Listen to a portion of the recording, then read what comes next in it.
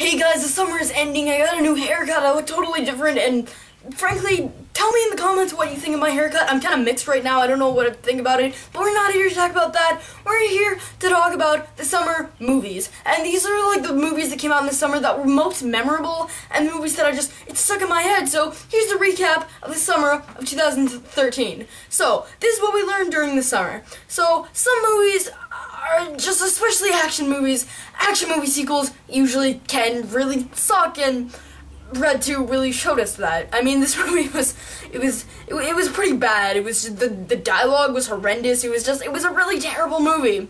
Also, we also learned that some movies can just plain suck. Like, they just can be not good at all. And these three movies really showed us that that is definitely true.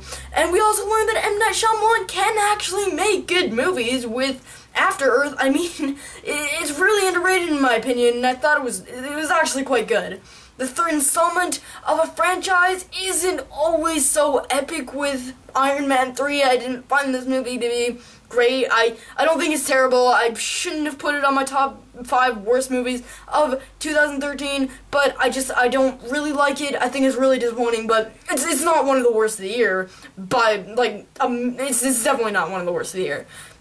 And then I can I just learned that I can still get the pants scared off me with The Conjuring. It's that's a scary movie. I knew nothing going into the movie and then I I really got scared during that movie. And then we also learned that Superman still kicks major butt in this reboot that is the Man of Steel. It's it's the Man of Steel. There's no way this movie wasn't going to be epic.